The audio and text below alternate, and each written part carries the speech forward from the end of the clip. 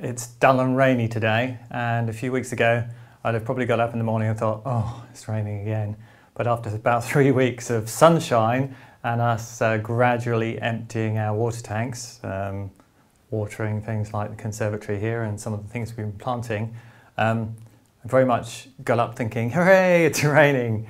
And so it's this idea that when we're looking at something and we're seeing it as a problem, it's all to do with our perspective, really, and that we need to be thinking at everything that, you know, what is the gift in everything, and looking for the gift in everything.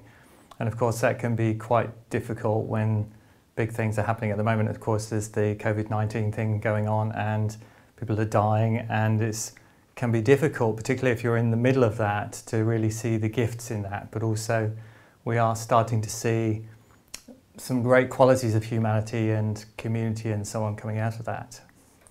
On a smaller scale, in the greenhouse, um, I could look at this.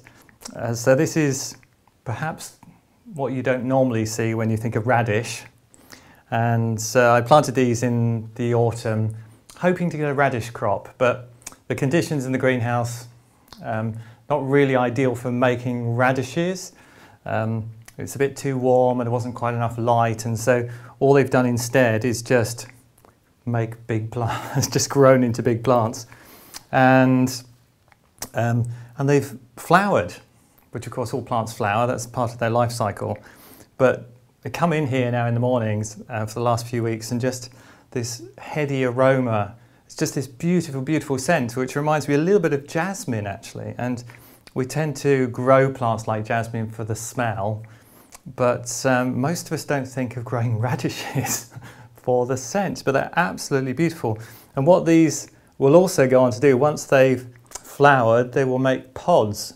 And uh, whereas if you get a little radish root and you eat it, it's gone in one go. Whereas if you allow a plant to flower and make pods, they're starting to do it here, look, these um, little pods will become bigger and fleshier.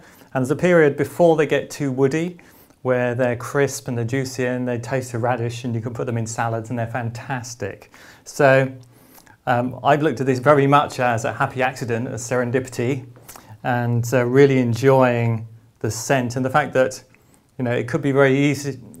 Could have been easy for me a few weeks ago to think, oh, they're getting very big. I started eating the leaves because you can also eat radish leaves and they're very nutritious. In fact, they're better than eating the root itself. It's not quite as peppery.